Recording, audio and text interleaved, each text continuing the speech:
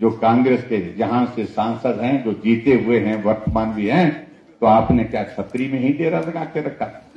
आपने सराज में ही डेरा लगा के रखा? इन बातों को अगर छेड़ेंगे तो बहुत दूर तक जाएगी। त्रासदी में कहाँ कहाँ नुकसान हुआ, कितना नुकसान हुआ, कितनी जगह आए वो लोग? छतरी का पूरा बाज़ार ध्वस्त हो गया, तबाह हो गया।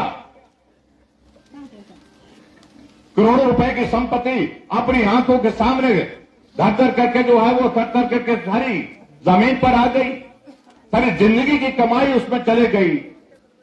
क्या जो दिल्ली से पैसा दिया है 1800 करोड़ रुपए नरेंद्र मोदी जी ने, आपने उस पैसे में से छतरी के बाढ़ से प्रभावित, बारिश से प्रभावित उन परिवारों को कितना पैसा अब मेरे पास जानकारी अभी तक है कि थोड़ा थोड़ा पैसा कुछ लोगों को मिला है, लेकिन अधिकांश लोग जिनका घर चला गया, जिनका घर डैमेज हो गया, बाग बगीचे चले गए, पशु चले गए, पशुशाला चले गए उनको पैसा अभी तक भी नहीं मिला। कह रहे कि हमने पैकेज दे दिया।